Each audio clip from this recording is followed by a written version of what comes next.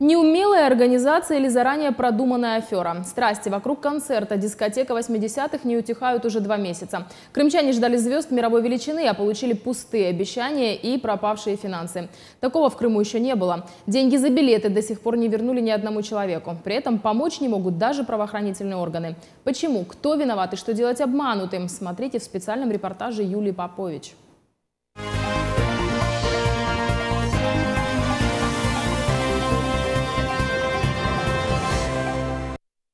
Пони М. от Таван, Секрет Сервис, знаменитости с мировым именем в августе появились на афишах по всему Крыму. Дискотека 80-х, которая должна была состояться 30 августа в Симферополе, обещала и популярных российских исполнителей Алену Апину, Виктора Салтыкова, технологию и многих других. Одним словом, для поклонников шальных 80-х концерт предвещал целое событие.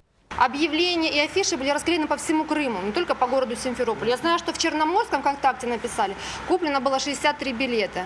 Из Москвы. Много отдыхающих было, понимаете? Поэтому очень удобная дата была. Тем более цена билета была от 600 до 1400. Как бы доступно многим гражданам. Я пошла э, как бы на, на, чё- на патриотизме. Я, я, я думаю, ну какой абонем сейчас сюда приедет? Они говорят, слушайте, ну вы можете себе хоть представить, что люди говорит, из-за границы едут, не, не, не боясь санкций, а мы здесь, мол, э, боимся деньги эти заплатить. Я думаю, действительно, что это люди едут, слышь? Ну поймали на этом чувстве, да и все. Ну и пошла, заплатила. Вот и заплатила Ирина за свой билет тысячу рублей. Собиралась идти с большой компанией друзей. Знакомые взяли билеты, можно сказать, оптом по 10-12 штук. Людей, загоревшиеся дискотекой 80-х, на полуострове оказалось много. Однако история закончилась не так радужно, как начиналась. Уже сегодня несостоявшиеся зрители уверены, с ними провернули аферу. Концерт 30 августа отменили, перенесли на 13 сентября. И этот не состоялся. Следующая дата – 11 октября. Здесь уже никто не удивился. Дискотека 80-х снова осталась в туманной перспективе. Про концерт уже забыли давно. Сейчас у крымчан одна проблема – как вернуть свои деньги. Уже около двух месяцев они не могут сдать билеты, а организаторы все ходят вокруг да около. Потом же на сайте вот ВКонтакте э, они сообщили, чтобы мы ВКонтакт э, за- зашли на сайт и по- по- на этот номер, тот же номер телефона, заш- зашли и сообщили указать количество билетов, на какую сумму, чтобы мы были там как зафиксированы. То есть они не отрицают то, что они их вернут билеты, но увы. Мне тоже пришел ответ сообщение на телефон, что билеты будут а, это, возвращены с 13 октября по 18 декабря. То есть э, никто не скрывается, но, увы. На смену переносам даты концерта пришли переносы даты возврата денег за билеты. Обещания были разные, но пока организаторы не вернули ни копейки. Аргументируя это тем, что вырученные финансы пошли в оборот, сейчас в наличии их нет. Начали вести списки в соцсетях. В официальной группе концерта исчезли все объявления и посты, кроме одного, с длинным перечнем желающих вернуть билеты. Но надежды уже не осталось. С коллективными письмами обращались и в прокуратуру, и в милицию, в Министерство культуры и дирекцию стадиона «Локомотив». Ответ прокуратуры такой. В связи с болезнью солистки группы Бонни М и невозможностью в связи с этим выполнения в полном объеме программы фестиваля проведения указанного мероприятия запланированную дату, а именно 30 августа 2015 года, не состоялась. Так вот, мы попросили в коллективном заявлении принять, а, просим оказать помощь в возврате денег за купленные билеты. Понимаете? А нам ответили, что солистка Бонни М заболела. Чем она заболела? Кто дал справку, нас это не интересует. Верните, пожалуйста, нам наши деньги. Так где же искать виновных? Дирекция стадиона «Локомотив» от ответственности открещивается. Все, что сделали, заключили договор с организаторами компании «Союзник», рассказывает замдиректора по безопасности. Свое лицо попросил не показывать. Он не появляется здесь. Тут уже были много людей приходило. Я объяснял, показывал, давал координаты и объяснял людям, что Центр спортивной подготовки не имеет никакого отношения к проведению концерта. Мы были готовы предоставить ему помещение, мы были готовы предоставить, ну, мы сразу предоставили ему кассы, помещение, как он продавал билеты, поскольку, куда он деньги девал, мы не имеем к этому никакого отношения. У нас чисто договорные отношения о предоставлении помещений. Договорные Виде- отношения на три дня были, да? То есть, Да, по одному дня на каждого. При этом просьбе показать прессе эти договоры директор стадиона «Локомотив» отказал. Почему? Вопрос остается открытым. А вот желающим вернуть деньги за билеты сообщили немного другую информацию. Никаких договоров о проведении на стадионе каких-либо мероприятий не было. Было только вот на 30 августа, на первое число, да, был договор о проведении мероприятия. После этого, после двух переносов на этих два, два числа, никаких договоров о проведении мероприятия на стадионе не было.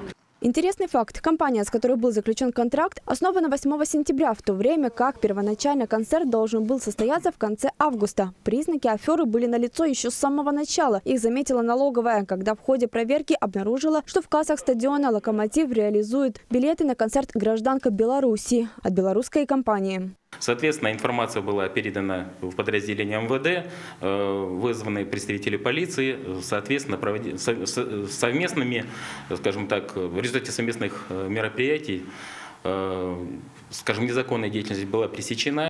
Организаторы вовремя спохватились, зарегистрировались на территорию Крыма как российская компания. К нам в руки попал их устав. Называются теперь ООО «Союзник». Здесь же указан и их адрес. Еще один интересный факт. В ответе на письмо пострадавших от правоохранительных органов указан совершенно другой адрес. Улица Пушкина, дом 18. Под этим адресом числится компания «Союзник», официальный организатор дискотеки 80-х. Мы решили навестить их. Прибыв на место, были крайне удивлены. Адрес привел нас к этнографическому музею. Как оказалось, мы не первые. По словам охранника, сюда частенько заглядывают люди с вопросами «А где же офис номер 17?» и уходят разочарованные, получив ответ, что в этом здании никаких частных компаний нет, одни музейные экспонаты. Не меньше удивления вызвал второй адрес – Бархатная, 92. Такого дома в Симферополе и в помине нет. Улица под этим названием находится в Белом 5, а вот на номере 24 дома и вовсе заканчиваются. Последняя надежда пообщаться с организатором дискотеки 80-х Константином Луньковым, связаться по телефону с прессой, поступить поступил он так же, как и желающими пойти на концерт. После многочисленных обещаний дать интервью, ссылаясь на занятость, комментировать ситуацию в конечном итоге не стал. И все-таки должен ли был состояться концерт или нет, мы вышли на менеджеров заявленных знаменитостей. Алексей Богдановский, представляющий от Таван в России, уверяет о том, что группа должна была выступать в Крыму и речи не шло. Там был заезд на Таван, э, писали письма, в том числе в администрацию города, и на, директора площадки, что Алтаван ну, в эти даты находится в другом месте, что как бы, мероприятие проводят мошенники. Ну, соответственно, все, соответственно, письма были направлены. Вот.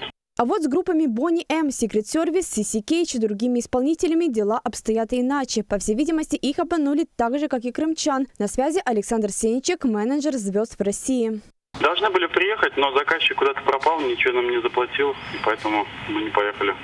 В Министерстве культуры происшествием возмущены, но сделать ничего не могут. Согласование дискотеки 80-х через ведомство не проходило, да и не должно было. Как отметила Арина Новосельская, законодательство России в сфере гастролей не предусматривает наказания таких лжепрокатчиков. Как следствие, ни один россиянин не защищен от концертных афер. Поэтому Министерство культуры выступило с инициативой о функциях надзора внутри министерства э, по контролю за осуществлением гастрольных э, подобных действий. Потому что мы знаем э, всех прокатчиков, мы знаем и заключаем договоры в соответствии с законодательством Российской Федерации. Без такого центра без функции Министерства культуры о согласовании всех гастрольных действий э, могут быть э, вот такие ужасные проколы, которые в первую очередь бьют по э, бюджету, по карману крымчан. Это недопустимо. Причин возбуждать уголовное дело законодательно нет. Искать виновных бесполезно. Тем, у кого билеты на руках, остается одно – попытаться добиться правосудия в суде. А если на основании претензии не будет э, выплачена такая стоимость, то тогда ее можно будет получить только через суд. Э, обратиться в суд с исковым заявлением. Э, в... Через суд можно будет получить также и неустойку. При всем напоре возмещенной общественности организаторы дискотеки не скрываются. На все вопросы отвечают по заявленным телефонам. Даже до сих пор обещают провести концерт в мае, а тем, кто сохранит билеты, бонус еще плюс один. Верить этим словам и ждать туманного события или бороться за право вернуть деньги – дело каждого. Есть и сведения, что подобная ситуация была и в Белоруссии. Юлия Попович, Евгений Стариков и Виталий Голубев. Служба новостей и ТВ.